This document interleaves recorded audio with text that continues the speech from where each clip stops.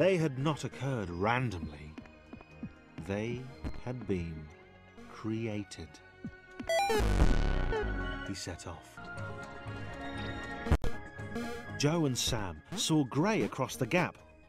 He waved them over. He seemed, well, nice. They helped him to the next portal.